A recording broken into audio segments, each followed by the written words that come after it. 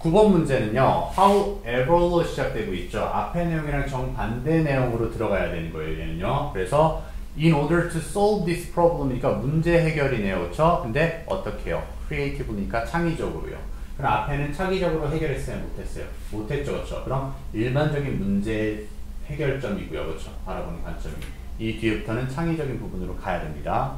그러니까 앞의 내용과 뒤의 내용은 방법이 달라야 돼요. 맞죠? 해결 방법이요.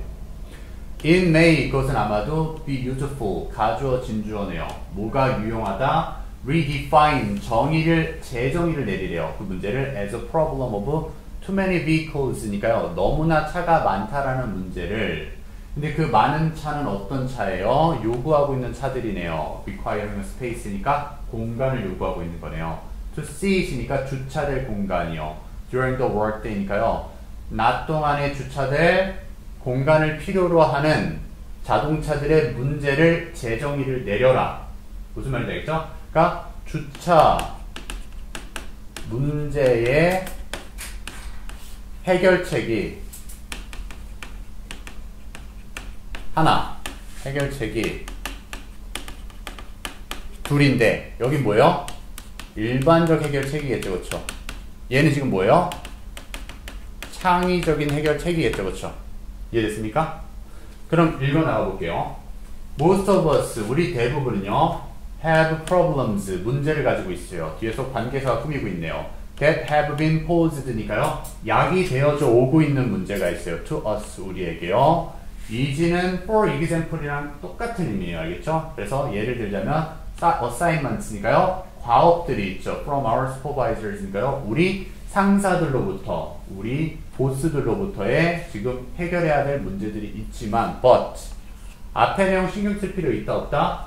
보통은 없다 그랬어요. 그렇죠? 그러니까 그래 회사 문제도 있긴 하지만 but we also 우리는 또한 recognize니까 알아차려야 되죠. 문제들인데요. on our own 우리 자신의 문제요. 그러니까 이 문제가 뭔지 모르니까 얘를 부가 설명하고 있죠. 이게 필요한 거예요. The need for additional parking space 나오잖아요. 그렇죠? 그래서 추가적인 주차 공간의 필요성이 지금 우리가 당면한 문제예요.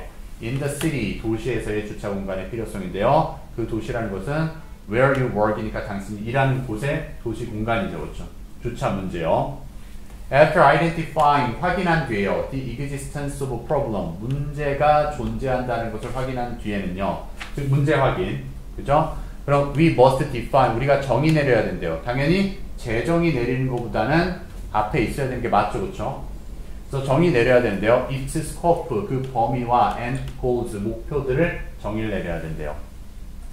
The problem of parking space, 주차 공간의 문제는, 부족은 is often seen이니까 종종 여겨진다, 자주 여겨진다. 이건 일반적인 관점이겠죠, 그렇죠? as 뭐로 써요? a need니까 필요성으로 여겨져요. 뭐에 대한 필요성이요? For more parking lots or parking garages니까요. 더 많은 주차 공간이나 더 많은 차고들이 필요하다. 일반적인 접근법이 뭐라고요? 더 많은 주차 공간이 필요. 차고지는 그냥 안 적을게요. 요거 일반적인 해결책이에요. 그렇죠? 그런데 인데 케이스 그러한 경우에라는 게 요걸 받을지 창의적인 걸 받을지 아직은 몰라요. 그렇죠? 근데 이걸 받을 확률이 높죠. 창의적인 얘기 안 나왔잖아요. 그렇죠? 그러니까 you may decide 당, 당신 아마 결정할 거래요.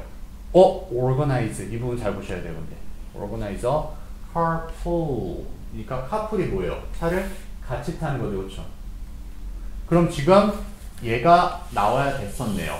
당연히, 당연히. 왜요? 주차 공간이 부족하다고 했는데 더 많은 주차 공간을 얘기한 게 아니라 뭐예요? 카풀 서비스. 서비스를 활용하자고 하는 거잖아요. 카풀이 뭔지는 알죠? 같이 타는 거요. 그러니까 그 창의적인 방식으로 접근을 재정의를 해야 된다. 그러한 경우에 즉 창의적인 방식은 당신은 아마 조직을 할 수 있을 거래요. 차를 같이 타는 기관을요. among people 사람들 사이에서요. 어떤 사람들이죠? use downtown parking lots니까요. 똑같이 도시에서 주차 공간을 사용하고 있는 사람들끼리 3, 3, 5 모여서 야 그럼 너도 그 주차 공간 써? 나랑 차 한 대로 같이 갔다 다, 왔다 하자. 그럼 같이 탈 수 있는 거죠. 주차 공간 확보죠 그럼. 그게 오히려요. And 그리고요 institute니까 주차 공간과 같은 회사를 사용하는 사람들이요. 근데 낮 동안에요. 그죠? 그리고요 어,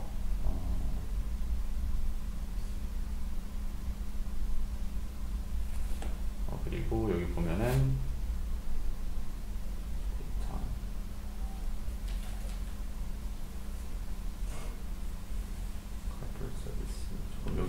어떻게 된 거지? You may decide to organize cards.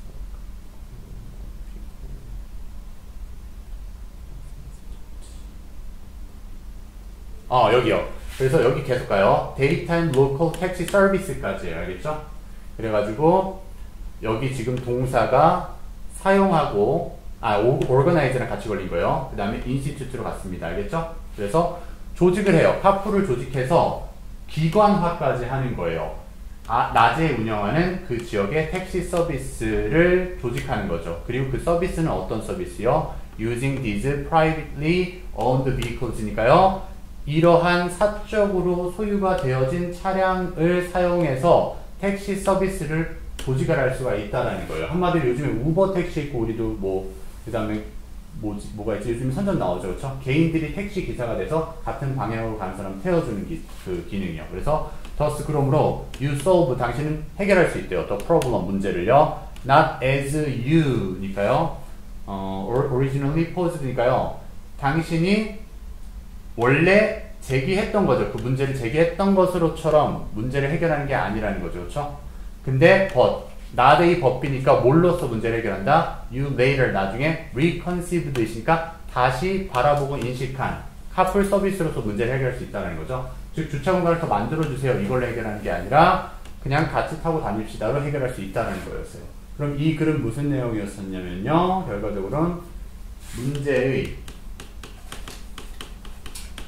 창의적